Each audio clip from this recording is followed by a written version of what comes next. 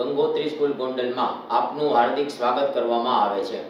હું ભાલોડિયા અમિત. આજે વિજ્ઞાન વિષયની અંદર પ્રકરણ નંબર ત્રણ, ધાતુઓ અને અધાતુઓ. એની અંદર હવે પછીનો ટોપિક છે એ આપણે ભણીએ. તો આ જે ધાતુઓ અને અધાતુઓ છે, એમાં આપણે વાત કરીએ ધાતુઓ. તો ધાતુઓની પ્રાપ્તિ કે ધાતુઓ છે એ આપણને કઈ રીતે અથવા તો કયા સ્વરૂપમાં છે એ પ્રાપ્ત થાય છે. તો એના માટે પહેલો શબ્દ છે ખનિજ. આમ તમે જોવા જાઓ તો જે ખનિજ શબ્દ આગળ આવી ગયો છે, પણ અહીંયા આ જે ખનિજ શબ્દ છે, એની પ્રોપર સ્પષ્ટ વ્યાખ્યા આવશે. સાંભળજો. કે જે તત્વો પૃથ્વીમાંથી આપણને કુદરતી રીતે મળે છે. આપણે તેને પ્રયોગશાળામાં બનાવતા નથી. અથવા તો બનાવી શકતા નથી. આપણને કેમાંથી કેમાંથી મળે છે? તો કે પૃથ્વીમાંથી, જમીનમાંથી, પૃથ્વીના પોપડામાંથી, ભૂપૃષ્ઠમાંથી આપણને છે કઈ રીતે મળે છે? કુદરતી રીતે મળે. જમીનની અંદર જ્યારે ખોદકામ કરવામાં આવે, તો જમીનમાંથી જે તત્વ છે એ આપણને કુદરતી રીતે પ્રાપ્ત થાય છે. તેને આપણે શું કહીએ છીએ? ખનિજ તરીકે છે એ ઓળખવામાં આવે છે. ફરીથી એક વખત વ્યાખ્યા કે જે તત્વો પૃથ્વીમાંથી કુદરતી રીતે મળે છે, તેને ખનિજ તરીકે છે એ ઓળખવામાં આવે છે. જો અહીંયા જે ખનિજ શબ્દ છે, એનો જ ઉપયોગ એના પછીની વ્યાખ્યા એટલે કે કાચી ધાતુની અંદર આવશે. તો જો ખનિજ નો મતલબ વ્યવસ્થિત સમજાઈ ગયો હોય તો આ જ શબ્દનો ઉપયોગ કાચી ધાતુમાં આવે તો તમને એ ખબર હોવી જોઈએ કે ખનિજ કોને કહેવાય. તો ખનિજની વ્યાખ્યા હજી એકવાર. કે જે તત્વો પૃથ્વીમાંથી કુદરતી રીતે પ્રાપ્ત થાય છે, તેને શું કહે છે? ખનિજ તરીકે છે એ ઓળખવામાં આવે છે. હવે, જે ધાતુઓ છે, એના આધારે બીજો શબ્દ, કાચી ધાતુ કાચી ધાતુનું બીજું નામ અયસ્ક. યાદ રાખજો. કાચી ધાતુ એનું બીજું નામ છે અયસ્ક. તો હવે આ કાચી ધાતુ છે, એની વ્યાખ્યા જોઈએ. તો શબ્દ આ રીતે આવશે. શરૂઆત ક્યાંથી થાય? ખનિજથી. હવે ખનિજ શબ્દ આવ્યો. તેનો મતલબ કે આની પહેલાની આપણે વ્યાખ્યા જોઈ, એ તમને વ્યવસ્થિત આવડતી હોવી જોઈએ. કે જે તત્વ પૃથ્વીમાંથી કુદરતી રીતે પ્રાપ્ત થાય, તેને ખનિજ તરીકે છે ઓળખવામાં આવે છે. આપણે વાત કોની કરીએ છીએ? કાચી ધાતુની. તો કાચી ધાતુની વ્યાખ્યા આ રીતે આવશે કે ખનિજ, એની અંદર શું હશે? તો સારા પ્રમાણમાં કોઈ પણ એક નિશ્ચિત ધાતુ હશે. ખનિજ એની અંદર સારા પ્રમાણમાં, એટલે કે વધુ પ્રમાણમાં. બધી જ ધાતુની. કોઈ એક નિશ્ચિત અથવા તો ચોક્કસ ધાતુ છે વધારે હશે. જો તેની અંદર નિશ્ચિત ધાતુનું પ્રમાણ વધારે હોય, તો શું કરી શકાય? તેનું સરળતાથી નિષ્કર્ષણ કરી શકાય. સરળતાથી નિષ્કર્ષણ. નિષ્કર્ષણ કરવું એનો મતલબ એને ચોખ્ખું કરવું અથવા તો અલગ પાડવું. કોને અલગ પાડવાની વાત છે? તો જે નિશ્ચિત ધાતુનું પ્રમાણ વધારે છે. તેને નિષ્કર્ષણ કરવાની વાત છે. તેને છૂટા પાડવાની વાત છે. તો નિષ્કર્ષણ કરી શકાય. તો આવી જે ખનિજ છે વ્યાખ્યાની શરૂઆતમાં શબ્દ આવ્યો આવી જે ખનિજ છે, એ ખનિજને શું કહે છે? તો કાચી ધાતુ તરીકે છે, એ ઓળખવામાં આવે છે. ફરીથી એકવાર વ્યાખ્યા શબ્દ આવા છે કે ખનિજ એની અંદર સારા પ્રમાણમાં અથવા તો વધુ પ્રમાણમાં નિશ્ચિત ધાતુ હોય તો આ જે નિશ્ચિત ધાતુ છે, એનું સરળતાથી શું કરી શકાય? નિષ્કર્ષણ કરી શકાય, એટલે કે સરળતાથી તેને છૂટી પાડી શકાય.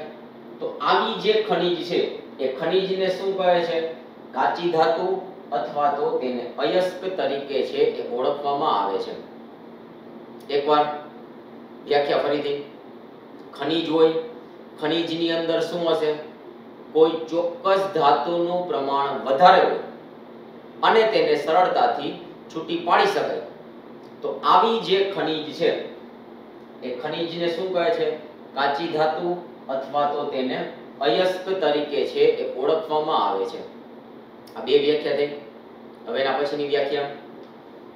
શબ્દ છે ગેંગ. બરોબર? તો આ જે ગેંગની વ્યાખ્યા છે, એની અંદર જો કાચી ધાતુ એવો શબ્દનો ઉલ્લેખ આવશે, તો ખબર હોવી જોઈએ કે કાચી ધાતુ કોને કહેવાય? ખનિજ, એની અંદર કોઈ ચોક્કસ ધાતુનું પ્રમાણ નિશ્ચિત હોય અથવા તો વધુ સારા પ્રમાણમાં હોય, અને તેને શું કરવાની છે? સરળતાથી તમે છૂટી પાડી શકો, સરળતાથી તેનું તમે નિષ્કર્ષણ કરી શકો. તો આવી ખનિજને શું કહે છે? કાચી ધાતુ તરીકે ઓળખવામાં આવે છે. હવે એના પછી વાત આવશે ગેમ. તો ગેમ કોને કહેવાય? એની વ્યાખ્યા જોઈએ કે પૃથ્વીની અંદર, પૃથ્વીમાંથી આપણને કાચી ધાતુ મળે. આ કાચી ધાતુ છે, એની અંદર આગળ વ્યાખ્યા એવી. નિશ્ચિત ધાતુનું પ્રમાણ વધારે હોય. એટલા માટે શબ્દ શું આવ્યા? જે તત્વ છે, અથવા તો નિશ્ચિત ધાતુ છે. એની સાથે વિચાર કરો, કેમાંથી મળે છે? તો પૃથ્વીમાંથી. તો પૃથ્વીમાંથી મળે છે ત્યારે તત્વ તો હશે, ધાતુ તો હશે, પણ એની સાથે બીજું શું હોય? જમીનમાંથી મળે તો માટી હોય, રેતી હોય અને અનિચ્છનીય પદાર્થ, એટલે કે અણગમતા પદાર્થો. ન ગમતા હોય તેવા પદાર્થો છે, એ પણ અશુદ્ધિ સ્વરૂપે મળી આવે છે. સ્વાભાવિક છે કે તત્વ જ્યારે જમીનમાંથી મળે, પૃથ્વીમાંથી મળે, તો માટી અને રેતી તો હોય જ છે. આ સિવાયના અનિચ્છનીય પદાર્થો જે આપણને જમીનમાંથી મળે છે, એનો મતલબ જે અશુદ્ધિ સ્વરૂપે મળે છે, એને શું કહે છે? ગેંગ તરીકે છે એ ઓળખાવી શકાય છે. ફરીથી એકવાર, પૃથ્વીમાંથી જે કાચી ધાતુ મળે એ કાચી ધાતુની અંદર જે તત્વ છે, એ તત્વની સાથે શું જોડાયેલું હોય? તો માટી પણ હોય, રેતી પણ હોય, આ સિવાય અનિચ્છનીય પદાર્થો હોય છે, કે જે કયા સ્વરૂપે? અશુદ્ધિ સ્વરૂપે પ્રાપ્ત થાય છે. તો તેને શું કહે છે? ગેંગ તરીકે છે, એ ઓળખાવી શકાય છે. તો આમ તમે જોવા જાવ પહેલી વ્યાખ્યા ખનિજ જોઈને તો બીજી વ્યાખ્યાની અંદર ખનિજનો ઉલ્લેખ આવ્યો. અને બીજી વ્યાખ્યા તમે કાચી ધાતુની જોઈ તો ત્રીજી વ્યાખ્યામાં આ કાચી ધાતુનો ઉલ્લેખ આવ્યો એટલે એક વ્યાખ્યા છે, એ બીજી વ્યાખ્યા સાથે ક્યાંક ને ક્યાંક જોડાયેલી છે. આ થઈ ત્રણ વ્યાખ્યા. પહેલી ખનીજ, બીજી કાચી ધાતુ અને ત્રીજી છે ગેમ આ એક શબ્દ યાદ રાખજો કે જે કાચી ધાતુ છે, તેને અયસ્ક તરીકે પણ છે એ ઓળખાવી શકાય છે. હવે એના પછીનો ટોપિક કે ધાતુઓનું નિષ્કર્ષણ. નિષ્કર્ષણ શબ્દ અહીંયા આગળ આવી ગયો. ધાતુઓનું નિષ્કર્ષણ એટલે ધાતુઓને છે એ કઈ રીતે છૂટી પાડી શકાય તો આપણે આ જે ધાતુઓ છે એ ધાતુઓની આ શબ્દ યાદ રાખજો. સક્રિયતાના આધારે તેને કેટલા સ્વરૂપમાં અથવા તો કેટલા ભાગમાં વિભાજિત કરી શકાય? ત્રણ ભાગમાં છે એ વિભાજિત કરી શકાય છે. કોને કરી શકાય? ધાતુઓને. કોના આધારે? તેની સક્રિયતાના આધારે. તો એના ત્રણ ભાગ પડશે અને ત્રણ ભાગના આધારે એને અલગ અલગ રીતે છે એ નિષ્કર્ષણ કરી શકાય છે, એટલે કે અલગ અલગ રીતે તેને છે એ છૂટી પાડી શકાય છે. હવે અહીંયા જે ધાતુઓ છે એ બધી જ ધાતુઓની તમે જે સક્રિયતા શ્રેણીમાં ભણી ગયા, એટલી ધાતુની આપણે છે એ અહીંયા વાત કરવાની છે. તો સક્રિયતા શ્રેણી આ રીતે દરેકની સંજ્ઞા દર્શાવેલી છે. કે એટલે potassium, Na, sodium, Ca, calcium, Mg, magnesium, Al, aluminium Zn zinc, Fe, iron, Pb, lead, H, hydrogen, Cu, copper, Hg, mercury, Ag એટલે ચાંદી અને Au એટલે સોનું. એટલે આ જે વાત થઈ ગઈ એ ધાતુઓની સક્રિયતા શ્રેણીની વાત થઈ ગઈ. સક્રિયતા શ્રેણીને આધારે દરેક ધાતુની સક્રિયતા અલગ અલગ છે તો એ રીતે તેને અલગ અલગ ક્રમમાં ગોઠવેલી જોવા મળે છે. તો એની સક્રિયતાના આધારે એને ત્રણ ભાગમાં વિભાજિત કરી શકાય. એમાં પહેલો ભાગ, ઊંચી સક્રિયતા. પહેલો ભાગ ઊંચી સક્રિયતા. કોને કહેવાય ઊંચી સક્રિયતા? તો સક્રિયતા શ્રેણી ક્યાં? તો આપણે આ જે લખી, એ શું છે? સક્રિયતા શ્રેણી દર્શાવે છે. તો સક્રિયતા શ્રેણીમાં ટોચ પર, એટલે કે આગળના ક્રમમાં, સૌથી આગળ રહેલી જે ધાતુઓ છે, એ ઊંચી સક્રિયતા ધરાવે છે. કઈ જગ્યાએ? સક્રિયતા શ્રેણીમાં આગળના ક્રમે, ટોચના ક્રમે રહેલી જે ધાતુઓ છે, એ ઊંચી સક્રિયતા ધરાવે છે. અહીંયા મેં અમુક ઉદાહરણ લખેલા છે. કે એટલે potassium Na sodium Ca calcium, Mg magnesium Al aluminium. તો ટોટલ કેટલી ધાતુ થઈ? તો 3 ને 2 પાંચ ધાતુ થઈ. આ જે પાંચ ધાતુ છે, એ સક્રિયતા શ્રેણીમાં ટોચ પર હશે, એટલે કે આગળના ક્રમમાં હશે. આ પોટેશિયમ, સોડિયમ, કેલ્શિયમ, મેગ્નેશિયમ અને એલ્યુમિનિયમ. તો એલ્યુમિનિયમ સુધીની જે ધાતુઓ છે, એ કેવી છે? ખૂબ જ સક્રિય છે. અને ખૂબ જ સક્રિય હોવાથી તે મુક્ત સ્વરૂપે છે એ પ્રાપ્ત થતી નથી. મુક્ત સ્વરૂપનો મતલબ શુદ્ધ અવસ્થામાં પ્રાપ્ત થતી નથી. શું કામ કારણ કે કેવી છે? ખૂબ જ સક્રિય છે અને ખૂબ જ સક્રિય હોવાથી તે અન્ય સાથે જોડાયેલી અવસ્થામાં પ્રાપ્ત થાય છે. અને અન્ય સાથે જોડાયેલી અવસ્થામાં પ્રાપ્ત થાય છે. એટલા માટે શબ્દ શું આવ્યો? કે મુક્ત સ્વરૂપે છે એ પ્રાપ્ત થતી નથી. આ પાંચ ધાતુ. તો આ જે પાંચ ધાતુ છે, એને આપણે શુદ્ધ કરવી છે. કારણ કે ઉપર શું લખ્યું છે? ધાતુઓનું નિષ્કર્ષણ. નિષ્કર્ષણ એટલે કે ધાતુઓને ચોખ્ખી કરવી છે. ધાતુઓને છૂટી પાડવી છે. તો પદ્ધતિનું નામ આવ્યું કઈ પદ્ધતિ દ્વારા? વિદ્યુત વિભાજન દ્વારા છે એ ઊંચી સક્રિયતા ધાતુઓને શુદ્ધ કરી શકાય છે. પદ્ધતિનું નામ વિદ્યુત વિભાજન. યાદ હોય તો? પ્રકરણ નંબર 1 ની અંદર આ વિદ્યુત વિભાજન શબ્દ આવી ગયો. જેને બીજો શબ્દ, બીજું નામ શું આપ્યું હતું? વિદ્યુતીય વિઘટન. એટલે કોની મદદથી વિઘટન થશે? વિદ્યુતની મદદથી વિદ્યુત પ્રવાહ પસાર કરશો, ત્યારે અશુદ્ધિ છે એ છૂટી પડી જશે અને ધાતુ છે એ છૂટા પડી જશે. એટલા માટે પદ્ધતિનું નામ શું આવ્યું વિદ્યુત વિભાજન પદ્ધતિ દ્વારા તેને શું કરી શકાય છે? શુદ્ધ કરી શકાય છે અથવા તો શુદ્ધ અવસ્થામાં છે, એ પ્રાપ્ત થાય છે. યાદ રાખજો, ધાતુ છે એને સક્રિયતાના આધારે ત્રણ ભાગમાં વિભાજિત કર્યા. એમાં પહેલો ભાગ ઊંચી સક્રિયતા, તો ઊંચી સક્રિયતામાં કોનો સમાવેશ કરવામાં આવે?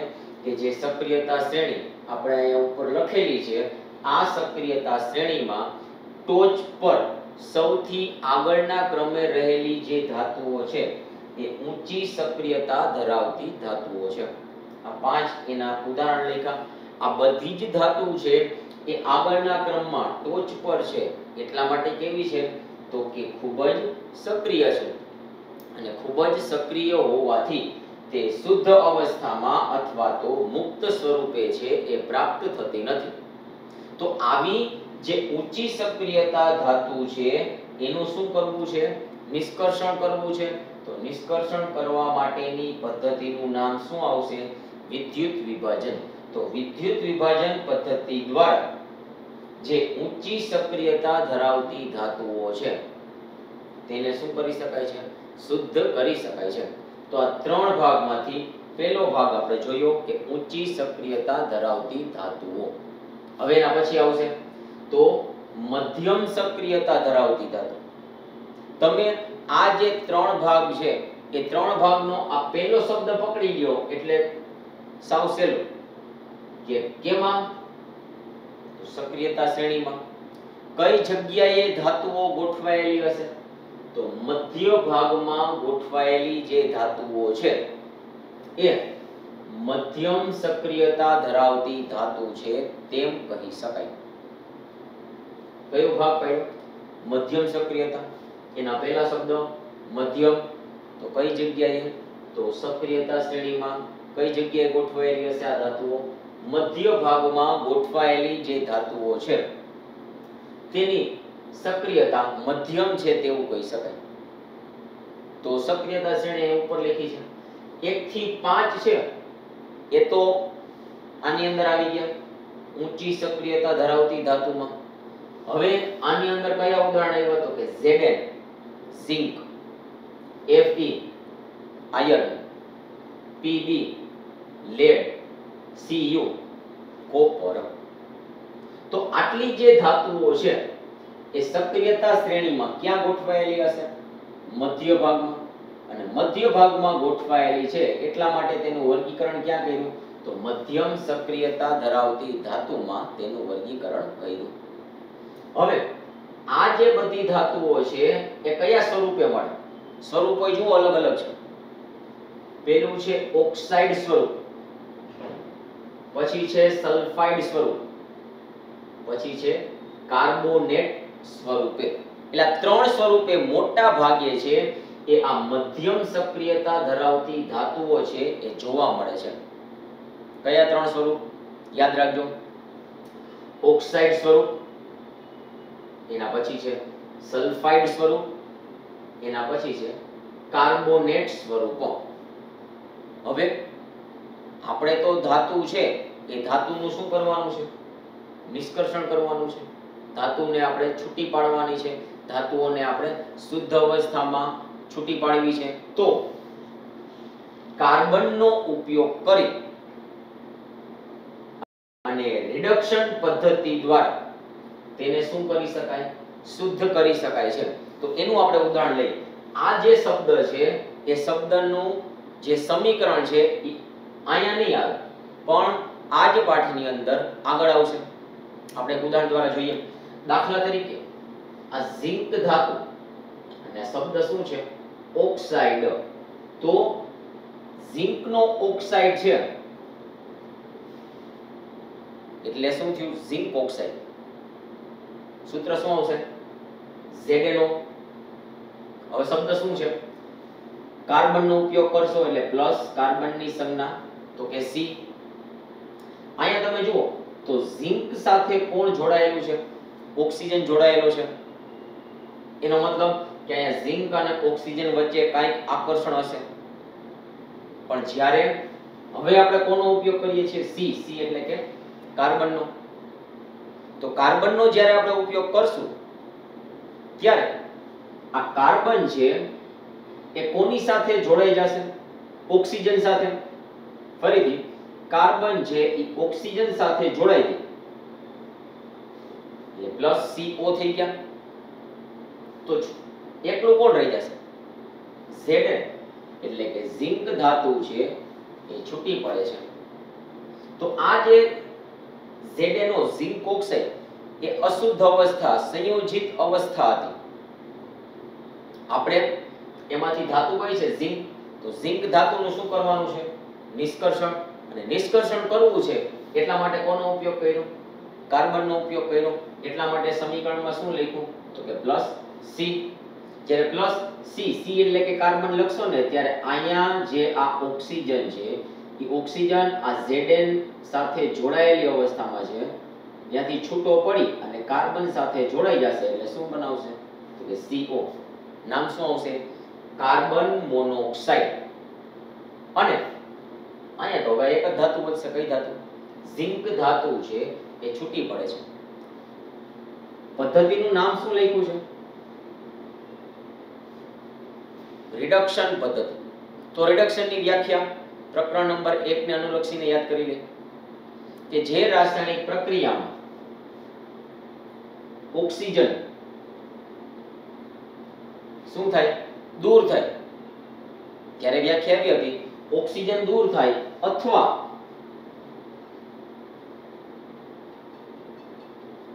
હાઇડ્રોજન ઉમેરાય. ઓક્સિજન દૂર થાય અથવા હાઇડ્રોજન ઉમેરાય. તો એવી પ્રક્રિયાને કેવી પ્રક્રિયા કહે છે? રિડક્શન પ્રક્રિયા તરીકે ઓળખવામાં આવે. તો અહીંયા શું થાય છે? કે આ થાય, ઓક્સિજન દૂર થાય, તો પણ શું કહેવાય? રિડક્શન અથવા હાઇડ્રોજન ઉમેરાય, તો પણ તેને રિડક્શન કહેવાય. એટલે બે એક સાથે થવો, થાય એવું જરૂરી નથી. તો અહીંયા જે શબ્દ રિડક્શન આવ્યો ને, તો એની અંદર આ શબ્દ, આ રિએક્શન થાય છે. ઓક્સિજન દૂર થાય છે. કારણ કે અહીં તમે જુઓ ઝિંક સાથે કોણ જોડાયેલું છે? ઓક્સિજન જોડાયેલો છે, પણ જ્યારે પ્રક્રિયાને અંતે ઝિંક એકલો છે, તો શું દૂર થયો? ઓક્સિજન દૂર થયો. ઓક્સિજન દૂર થયો એટલા માટે શબ્દ શું આવ્યો? રિડક્શન પ્રક્રિયા. રિડક્શન પ્રક્રિયા કોની મદદથી થાય છે? કાર્બનની મદદથી. અને કાર્બનની મદદથી રિડક્શન પ્રક્રિયા થવાથી છેલ્લે શુદ્ધ ધાતુ, આ ઝિંક ધાતુ છે, એ આપણને પ્રાપ્ત થાય છે. અહીંયા જે આપણે વાત કરીએ કે ઓક્સાઇડ છે તો આ ઓક્સાઇડનું એક ઉદાહરણ લઈશું હવે અહીંયા સલ્ફાઇડ છે તો સલ્ફાઇડનું ઉદાહરણ આવશે ZnS નામ આવશે ઝિંક સલ્ફાઇડ અને એવી રીતે હજી એક ઉદાહરણ છે કાર્બોનેટ તો શું આવશે ZnCO3 હવે Fe માટે પણ આ રીતે ઓક્સાઇડ આવે, Fe માટે પણ સલ્ફાઇડ આવે, Fe માટે પણ કાર્બોનેટ આવે. એટલે આપણે અહીંયા વાત કરીએ છીએ ઝિંકની તો ઝિંકના ખાલી ત્રણ ઉદાહરણ લખ્યા. તો આ જે ત્રણ ઉદાહરણ છે, એમાંથી આ પહેલું ઉદાહરણ છે ને, ઓક્સિજન છે, તો એને ઓક્સાઇડ કહેવાય. અહીંયા S છે, તો એને શું કહેવાય? સલ્ફાઇડ કહેવાય. અને અહીંયા CO3 છે, તો એને શું કહેવાય? કાર્બોનેટ કહેવાય. ત્રણેયની અંદર એક કોમન ધાતુ છે. કઈ ધાતુ? Zn તો ઈ જે Zn નું આ ઓક્સાઇડ સ્વરૂપ, આ સલ્ફાઇડ સ્વરૂપ, આ કાર્બોનેટ સ્વરૂપ, એમાંથી ઝિંક ધાતુનું શું કરવું છે? નિષ્કર્ષણ કરવું છે. અને નિષ્કર્ષણ કરવા માટેની દસમા ધોરણને અનુલક્ષીને એક પદ્ધતિ આવશે કે કાર્બન દ્વારા તેનું રિડક્શન કરવાથી શું થાય છે? શુદ્ધ ધાતુ છે, એ મેળવી શકાય છે. આ સમીકરણ આ જ ચેપ્ટરમાં આગળ આવશે. બરોબર? કે ZnO છે પ્લસ C કર્યો કાર્બન, તો કાર્બન છે એ આ ઓક્સિજન સાથે જોડાઈ જાય અને કાર્બન મોનોક્સાઇડ બનાવે અને ઝિંક ધાતુ છે એ છૂટી પડે છે. પદ્ધતિનું નામ શું લખ્યું છે? રિડક્શન કારણ કે સમીકરણની અંદર શું થાય છે? તો ઓક્સિજન દૂર થાય છે. અહીંયા ઓક્સિજન હતા. પ્રક્રિયાને અંતે ઓક્સિજન નથી. તો ઓક્સિજન દૂર થયો. એટલા માટે રિડક્શન પદ્ધતિ દ્વારા શુદ્ધ ધાતુ છે એ મેળવી શકાય છે. એટલે આપણે જે સક્રિયતાના આધારે ત્રણ ભાગ પાડ્યા હતા, એમાંનો બીજો ભાગ એટલે કે મધ્યમ સક્રિયતા ધરાવતી ધાતુનો વાત પૂરી થઈ. હવે ત્રીજો ભાગ, કે નીચી સક્રિયતા ધરાવતી ધાતુ. નીચી સક્રિયતા, એમાંથી પહેલો શબ્દ છે નીચી. તો એનો મતલબ કે સક્રિયતા શ્રેણીમાં નીચેના ભાગ અથવા તો તળિયાના ભાગ અથવા તો છેલ્લે રહેલી જે ધાતુઓ છે, એ નીચી સક્રિયતા ધરાવતી ધાતુઓ છે તેમ કહી શકાય. તો આની સક્રિયતા શ્રેણી. સાવ તળિયે કીધું છે એટલે કે છેલ્લે જે આ બધી ધાતુઓ રહેલી છે, એ ધાતુઓ છે એ નીચી સક્રિયતા ધરાવતી ધાતુ છે તેમ કહી શકાય. સક્રિયતા નીચી છે, સક્રિયતા ઓછી છે, આથી આ જે ધાતુઓ છે, એ મુક્ત અવસ્થામાં મળે. જમીનમાંથી મળે એટલે કે તે મુક્ત અવસ્થામાં મળે અથવા તો તે શુદ્ધ અવસ્થામાં મળે છે તેવું કહી શકાય. એના પણ ઉદાહરણ લખા. Au એટલે કે સોનું Ag એટલે કે ચાંદી. તો આ સોનું અને ચાંદી છે, એની સક્રિયતા ખૂબ જ ઓછી છે. અથવા તો સક્રિયતા શ્રેણીમાં છેલ્લે છે અથવા તો તળિયાના ભાગે છે. આથી આ જે ધાતુ છે એ આપણને જ્યારે કુદરતમાંથી મળે છે, તો તે મુક્ત અવસ્થામાં પ્રાપ્ત થાય છે. મોટા ભાગે નિષ્ક્રિય હોવાથી તે આપણને મુક્ત અવસ્થામાં પ્રાપ્ત થાય છે, પણ ઘણી વખત આ જે બે ધાતુ Ag એટલે કે સિલ્વર અથવા તો ચાંદી અને Cu એટલે કે કોપર જો એ સંયોજિત અવસ્થામાં મળે, તો તે કોપર ઓક્સાઇડ સ્વરૂપે સલ્ફાઇડ અથવા તો કોપર ઓક્સાઇડ સ્વરૂપે છે એ પ્રાપ્ત થાય છે. બરાબર? તો આમાં જેમ આપણે આ ઓક્સાઇડ સલ્ફાઇડ અને કાર્બોનેટના એક એક ઉદાહરણ જોયા એમ આપણે સલ્ફાઇડનું અને અહીંયા ઓક્સાઇડનું ઉદાહરણ જોયું. અહીંયા સિલ્વર Ag માટે સલ્ફાઇડનું સ્વરૂપ આવશે Ag2S નામ આવશે સિલ્વર સલ્ફાઇડ આ Ag ખાલી લખ્યું હોય ને તો તમે સિલ્વર અથવા તો ચાંદી કહી શકો. પણ આ જ Ag નો ઉપયોગ અહીંયા સૂત્રમાં થયો હોય Ag2S તો આને સિલ્વર સલ્ફાઇડ જ કહેવાય. ચાંદી સલ્ફાઇડ કયો ને, તો એ યોગ્ય ના લાગે. એટલે નામ શું આવશે? સિલ્વર સલ્ફાઇડ હવે બીજું ઉદાહરણ જોઈએ આપણે. ઓક્સાઇડનું સૂત્ર આવશે. Ag2O સિલ્વર ઓક્સાઇડ બરાબર? એટલે નીચી સક્રિયતા ધરાવતી ધાતુ છે એ મોટા ભાગે મુક્ત અવસ્થામાં પ્રાપ્ત થાય છે. પણ ક્યારેક આ સિલ્વર અને કોપર જે છે, એ તેના સલ્ફાઇડ અથવા તો ઓક્સાઇડ સ્વરૂપે છે, એ આપણને પ્રાપ્ત થાય છે. હવે આમ જોવા જાવ તો જે કાચી ધાતુઓ આપણને મળે છે, એ કાચી ધાતુમાંથી મોટા ભાગે ધાતુઓ છે ત્યાં સલ્ફાઇડ સ્વરૂપે મળે કાર્બોનેટ સ્વરૂપે મળે, પણ સૌથી વધારે છે એ ધાતુઓ તેના ઓક્સાઇડ સ્વરૂપમાં વધારે પ્રાપ્ત થાય છે. અને ઓક્સાઇડ સ્વરૂપમાં વધારે પ્રાપ્ત થાય છે, એનું કારણ શું છે? તો કારણ એ બધી ધાતુ આ સરળતાથી ઓક્સિજન સાથે જોડાઈ શકે છે. કોઈ પણ ધાતુ છે, એ સરળતાથી કોની સાથે? તો ઓક્સિજન સાથે જોડાઈ શકે છે. અને કોઈ પણ ધાતુ સરળતાથી આ ઓક્સિજન સાથે જોડાઈ શકે છે. એનો મતલબ કે ધાતુ તેના કયા સ્વરૂપમાં આપણને પ્રાપ્ત થાય છે?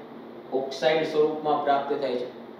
તો આ જે ઓક્સિજન સાથે સરળતાથી જોડાઈ શકે છે, એનો મતલબ કે આ જે ઓક્સિજન છે, એ ખૂબ જ કેવો હોય છે? સક્રિય હોય છે. અને ખૂબ જ સક્રિય હોવાથી તે ધાતુ સાથે સરળતાથી જોડાઈ શકે છે અને સરળતાથી જોડાય અને ઓક્સાઇડ સ્વરૂપે છે એ પ્રાપ્ત થાય છે. અને એટલા માટે જ યાદ હોય તો પ્રકરણ નંબર એકની અંદર ખોરા પણ છેલ્લી થિયરી આવી હતી. ખોરાક ક્યારે ખોરો બને છે? તો ખોરાક હવામાં ખુલ્લો હોય ત્યારે. અથવા તો ખોરાક છે એ કોની સાથે જોડાય ત્યારે? ઓક્સિજન સાથે જોડાય. ત્યારે ખોરાકની વાસ ગંધ, વાસ અથવા તો ગંધ અને સ્વાદ છે એ બદલાઈ જાય છે. એટલે કે ખોરાક છે એ બગડી જાય છે અથવા તો ખોરો થઈ જાય છે. તો એનું કારણ એક જ છે કે જે ખોરાક છે એ સરળતાથી ઓક્સિજન સાથે જોડાય છે અને ઓક્સિજન સાથે જોડાઈ શકવાને લીધે તે ખોરાક છે એ બગડી જાય છે. કારણ કે હવામાં રહેલો આ જે ઓક્સિજન છે એ કેવો છે? ખૂબ જ સક્રિય છે. અને ખૂબ જ સક્રિય છે એટલા માટે ખોરાકને તે બગાડી નાખે છે અને આવું ન બને એટલા માટે ત્યાં શબ્દ આવ્યો તો એન્ટીઓક્સિડન્ટ પદાર્થ. અને એન્ટીઓક્સિડન્ટ પદાર્થ તરીકે કયો વાયુ લીધેલો હતો? નાઇટ્રોજન વાયુ. અને એટલા માટે તમે જુઓ છો કે જે ફૂડ પેકેટ હોય, વેફરનું જે પેકેટ હોય એની અંદર આપણને એમ લાગે કે ગેસ ભરેલો છે, હવા ભરેલી છે, તો એ હવા ઓક્સિજન નહીં હોય. પરંતુ એન્ટી ઓક્સિડન્ટ પદાર્થ, એટલે કે કયો વાયુ? નાઇટ્રોજન વાયુ છે ભરવામાં આવે છે, કે જેથી કરીને તે વાયુ નિષ્ક્રિય છે અને નાઇટ્રોજન છે એ ઓક્સિજનથી ખોરાકને બચાવે છે. એટલા માટે ખોરાક છે એ લાંબો સમય સુધી છે એને સાચવી શકાય છે. તો જેમ ખોરાપણુમાં આવ્યું, એ જ વસ્તુ અહીંયા પણ આવશે. કે ધાતુઓ છે, એ મોટા ભાગે તેની અશુદ્ધિ એટલે કે ઓક્સાઇડ સ્વરૂપે જોવા મળે. કારણ કે ધાતુઓ છે, એ ઓક્સિજન સાથે ઝડપથી જોડાઈ શકે છે. કારણ કે ઓક્સિજન છે કેવો છે? ખૂબ જ સક્રિય છે. અને ખૂબ જ સક્રિય હોવાથી જે ધાતુ એ મધ્યમ સક્રિયતા ધરાવતી ધાતુ હોય કે નીચી સક્રિયતા ધરાવતી ધાતુ હોય કે પછી ઊંચી સક્રિયતા ધરાવતી ધાતુ હોય, એમાંથી આપણને મોટા ભાગે કયા સ્વરૂપે મળે છે?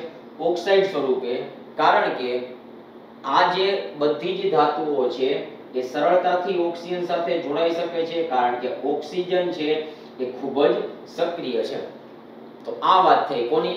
તો ધાતુઓના નિષ્કર્ષણની. તો ધાતુઓના નિષ્કર્ષણની અંદર જે ધાતુની સક્રિયતા શ્રેણી, એ સક્રિયતા શ્રેણીમાં ધાતુની સક્રિયતાના આધારે એના ત્રણ ભાગમાં વિભાજિત કર્યા. પહેલું ઊંચી સક્રિયતા, બીજી વાત મધ્યમ સક્રિયતા, ત્રીજી વાત નીચી સક્રિયતા. અને જે સક્રિયતાના આધારે અલગ અલગ પદ્ધતિ દ્વારા તેનું નિષ્કર્ષણ કરી શકાય. જો ઊંચી સક્રિયતા હોય તો વિદ્યુત વિભાજન દ્વારા, મધ્યમ સક્રિયતા હોય તો કાર્બનનો ઉપયોગ કરી અને રિડક્શન પદ્ધતિ દ્વારા છે તેને શુદ્ધ છે એ કરી શકાય છે. Thank you